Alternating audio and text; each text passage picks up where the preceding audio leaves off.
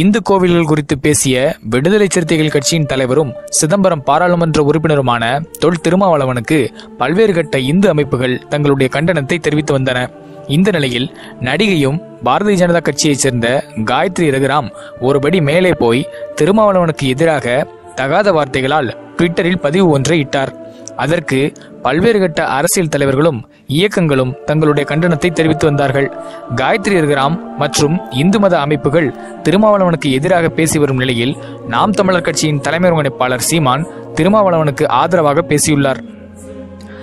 செய்தியாளர்களை சந்தித்த சீமான் தமிழ்ச் சமூகத்தின் அறிவார்ந்த பேராளுமையாக திகழும் அன்பின் அண்ணன் திருமாவளவன் அவர்களை கொச்சைப்படுத்தி தனிமைப்படுத்தும் நோக்கோடு அவருக்கு எதிராக அவதூறு பரப்பும் மதவாதிகளின் நச்சு பரப்புரையை வன்மையாக கண்டிக்கிறேன். கருத்தை கருத்தால் எதிர்கொள்ள திராணியற்ற இந்த கோழைத்தனங்கள் அநாகரிகமானது. அருவருப்பின் உச்சம். இந்த சூழலில் அண்ணன் திருமாவுக்கு நாம் தமிழர் கட்சி உறுதுணையாக இருக்கும் என உறுதியளிக்கிறேன் என்று சீமான் பேசியுள்ளார்.